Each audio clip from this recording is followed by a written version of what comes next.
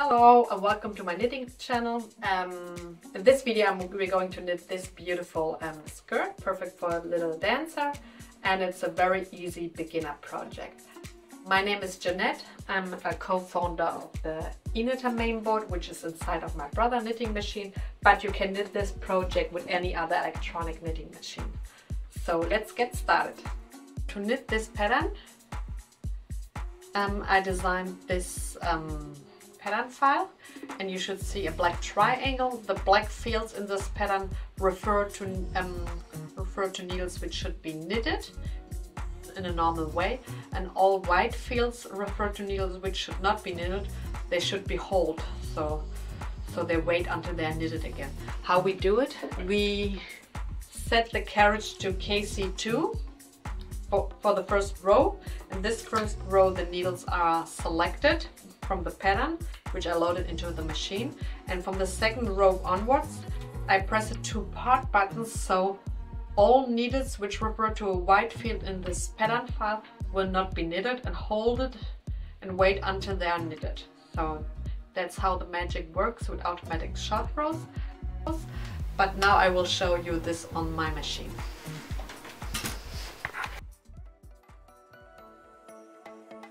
So now I knitted the first row only with the KC setting on and from the second row onward I press the two part buttons.